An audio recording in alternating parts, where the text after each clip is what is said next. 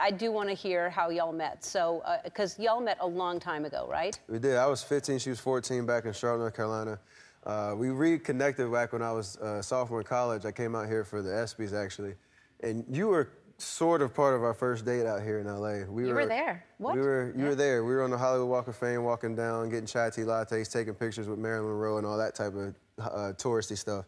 We went to the Wax Museum, and uh, there you were. You were about probably the fourth room we went into. I'm in the Wax Museum? You, I am? Is it as bad as my thing from Orlando? Is it that bad? so that was me, and that got y'all. That got you in the mood. That, that yeah. The... That's great. That... All right, that that is not it. It is. It that's is? not the Wax no, Museum thing. It. No, that's from Orlando, from Ellen's Energy no. exhibit. That's what they had as me.